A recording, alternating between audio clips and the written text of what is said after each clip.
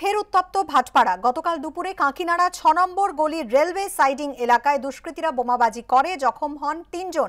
ঘটনার সঙ্গে জড়িত সন্দেহে দশজনকে গ্রেফতার করেছে পুলিশ। কথা বলে নেব আমাদের প্রতিনিধি সমীরণ পালের সঙ্গে। সমীরণ, গতকালের এই ঘটনায় দশজনকে পুলিশ গ্রেফতার করেছে, কি খবর রয়েছে? দেখো বৃষ্টি, গতকাল থেকে তল্লাশি চালানো হয় পুলিশের পক্ষ থেকে। মোট দশ জন দুষ্কৃতীকে গ্রেপ্তার করা হয়েছে এবং বাকিদের কাছে তল্লাশি চলছে এবং পুলিশ যেটা জানাচ্ছে, জায়গায় জায়গায় বোমাবাজি হয়েছে। গতকাল রাতে নয়া বাজার, রেলওয়ে সাইডিং এই সমস্ত এলাকায় বোমাবাজি হয় এবং গতকাল রাতেও বোমাবাজি হয়।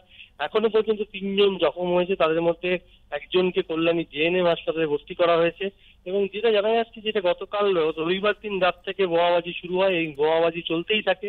গতকাল দফায় দফায় বোমাবাজি হয়। গতকাল রাতেও বোমাবাজির ঘটনা ঘটে এবং পুলিশের পক্ষ থেকে বিশাল পুলিশ বাহিনী স্ট্যাকো ফোর্স র্যাব সমস্ত কিছু নামানো হয়েছে। জায়গায় জায়গায় পুলিশ মোতায়েন রাখা হয়েছে। কাপিনাড়া বাজার, এখানে প্রচুর দোকান ভাঙচুর করা হয়েছে, লুটপাট চালানো হয়েছে। দোকানে আগুন পর্যন্ত লাগিয়ে দেওয়া হয়েছে। আজকে পুরো বন্ধের চেয়ারে নিয়েছে গোটা কাকিনাড়া বাজার এলাকা এবং বিভিন্ন জায়গায় পুলিশ পিকেট রয়েছে। পুলিশের পক্ষ থেকে এলাকায় গন্ডগোল থামানোর চেষ্টা হচ্ছে। কিন্তু দুষ্কৃতীরা এত প্রচুর পরিমাণে বোমা মজুদ রেখেছে যে বিভিন্ন জায়গায় গলি, উঁচু বাড়ির ছাদ থেকে ফের বোমাবাজি হচ্ছে। তারপরে পরিস্থিতি কোনোভাবেই নিয়ন্ত্রণে আসছে না। বৃষ্টি।